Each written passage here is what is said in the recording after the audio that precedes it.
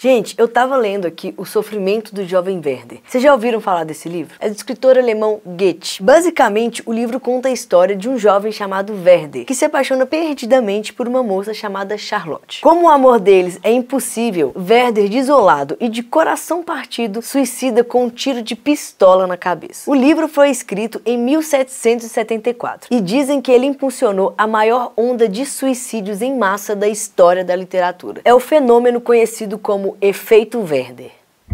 Temas de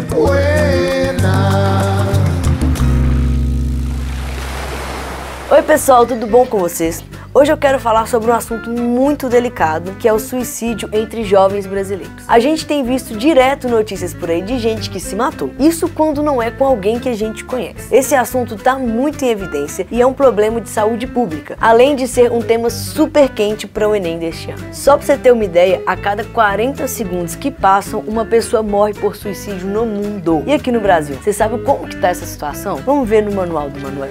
Manual. De acordo com um boletim epidemiológico sobre suicídio divulgado pelo Ministério da Saúde, o número de autocídios no Brasil aumentou 12% de 2011 a 2015. Outro dado importante vem do Sistema de Informação sobre Mortalidade, publicado em 2017, que revelou que a terceira causa que mais mata jovens de 15 a 29 anos no Brasil é o suicídio, ficando atrás apenas dos acidentes de trânsito e dos homicídios. Os números são muito impressionantes, gente. Eu tava vendo aqui no manual do Manuel que, tipo, 11 mil pessoas tiram a própria vida por ano no Brasil. E que no mundo o suicídio só não mata mais que acidente de trânsito. Aí eu fico pensando, quantas pessoas que tiraram a própria vida realmente tinham essa intenção? E aí se me pergunta, como assim, Luca? Todo mundo que suicida tinha intenção. Mas será mesmo? Quantos casos a gente já não viu de pessoas que suicidaram por influência de outros? Vocês lembram, por exemplo, da baleia azul? Era um joguinho que convidava jogadores de 12 a 17 anos a cumprirem algumas tarefas e no final o jogo levava a galera a se matar. Uma outra coisa que há pouco tempo gerou maior treta foi aquela série 13 Reasons Why da Netflix. Vocês chegaram a ver? Eu mesmo achei que ela romantizou muito o suicídio de um jeito que a Hannah, a personagem principal lá, acabou suicidando como uma forma de se vingar das pessoas que sacanearam com ela. Não necessariamente como uma insatisfação com a vida, uma válvula de escape, sei lá. Mas o que mais impressionou na série é como ela influenciou influenciou pessoas a buscar informações sobre o suicídio. Eu estava lendo aqui no manual um relatório publicado na revista americana JAMA Internal Medicine que apurou que as buscas no Google relacionadas com o suicídio aumentaram 19% na semana seguinte ao lançamento da série. Vocês estão vendo aí que rolou realmente um pico nas buscas em expressões como, por exemplo, suicídio indolor, cometer suicídio e como se suicidar. Por acaso, você já ouviu falar de suicídio por contágio? O Manuel com certeza já.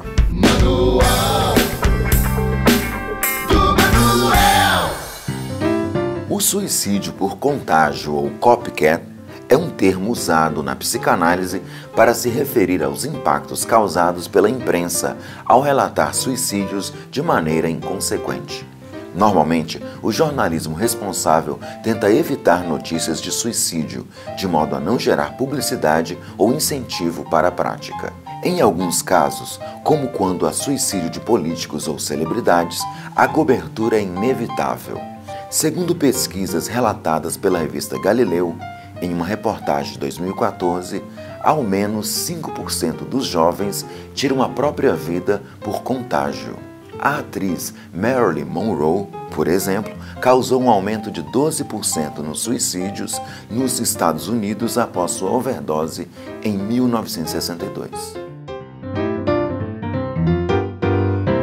Gente, parece absurdo, mas a forma como o suicídio é tratado nas escolas ou na mídia pode sim influenciar outras pessoas, principalmente quando rola uma identificação muito forte com a celebridade em questão. Foi assim, por exemplo, com o vocalista do Nirvana, o Kurt Cobain, o vocalista do Linkin Park, o Chester Bennington e o ator Robin Williams, além do caso que eu falei lá em cima do livro O Sofrimento do Jovem Werther. Então, como eu tava dizendo, rolou uma treta cabulosa por causa desse livro. Foi uma onda de suicídio em massa. Isso porque a galera vivia lá no século XVIII, em que o romantismo estava super na moda. Dizem que nessa época mais de duas mil pessoas tiraram a própria vida influenciadas por esse livro. E eram normalmente homens entre 16 e 24 anos, estudados e interessados em literatura. Eu li também que na época do romantismo, muitos suicidas até vestiram a mesma roupa que o protagonista usou na hora que ele foi se matar: um casaco azul e calças amarelas. E em várias mortes, os suicidas não deixaram cartas ou mensagens para explicar o que estavam fazendo. Eles deixaram exemplares do romance do Goethe. Estranho, né? O que eu quero dizer com tudo isso é que a escola, a literatura e a mídia principalmente têm muita responsabilidade sobre aquilo que divulga. E a gente tem que tomar muito cuidado com isso, galera. A série 13 Reasons Why ignorou completamente a cartilha da Organização Mundial da Saúde, mostrando o suicídio como eficaz. O que ela deveria ter feito era muito pelo contrário, era criar uma consciência crítica, mostrando o que a escola pode fazer em casos como aquele. Tipo falar como os colegas poderiam ajudar, os professores, enfim. Ela fez tudo ao contrário, mas sofreu tanta crítica, mas tanta crítica, que tentou remediar na segunda temporada. Agora, no final de cada episódio, por exemplo, eles mostram o endereço de um site que dá o contato de grupos de suporte para a pessoa procurar caso ela precise de ajuda. Pequenas ações que fazem toda a diferença. No Brasil, a gente tem, por exemplo, o Setembro Amarelo, que é uma campanha super massa de conscientização sobre a prevenção do suicídio. Ela foi criada lá em 2015 pelo CVV,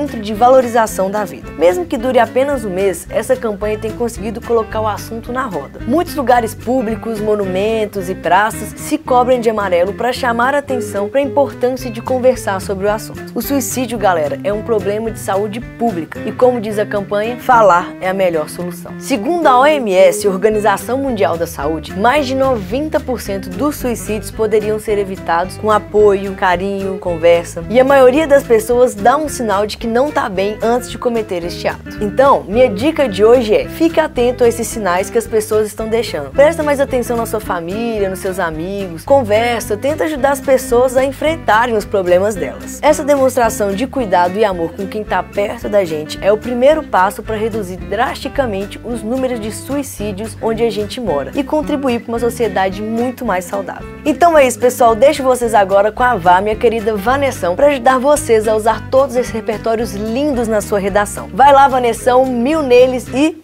um beijo do Lu.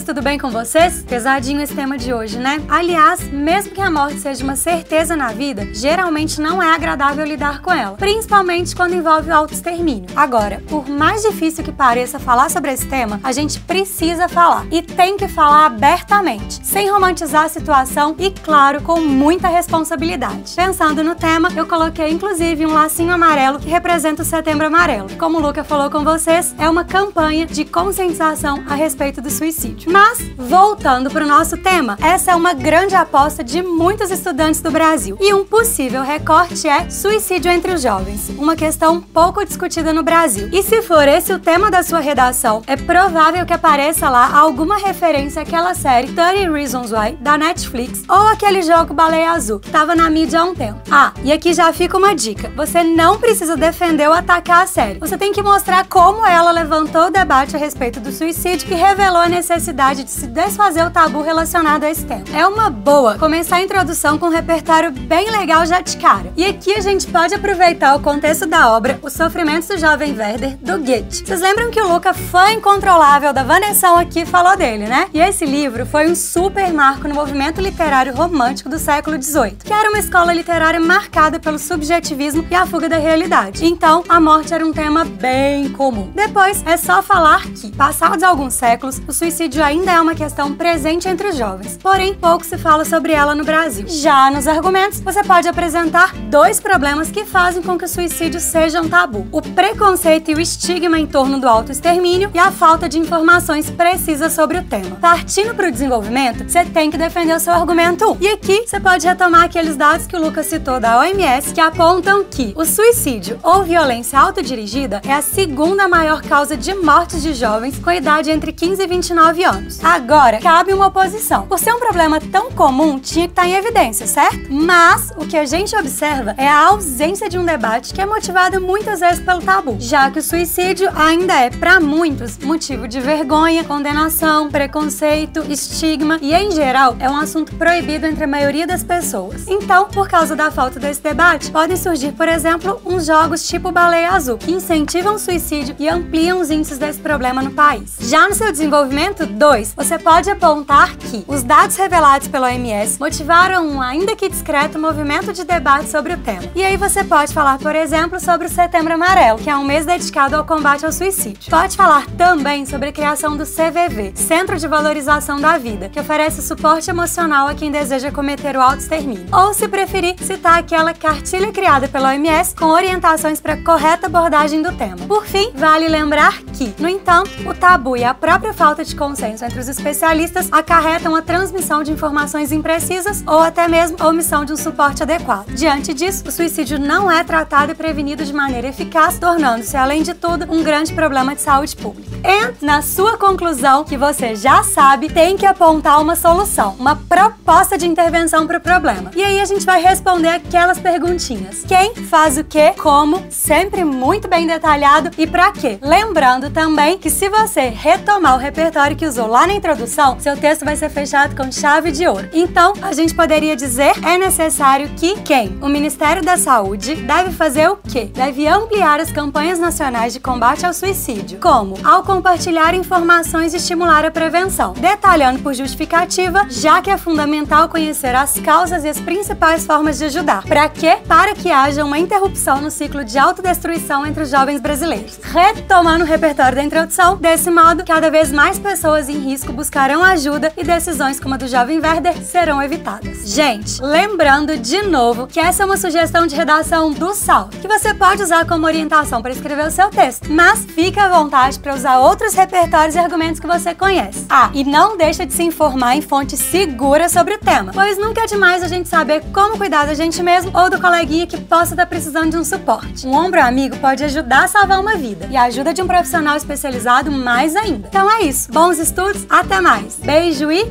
juízo.